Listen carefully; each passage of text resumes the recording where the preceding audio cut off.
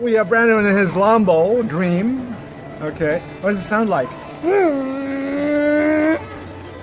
And um, Kanako, the artist. And uh, are you happy with this? Yes. Okay, you made him happy.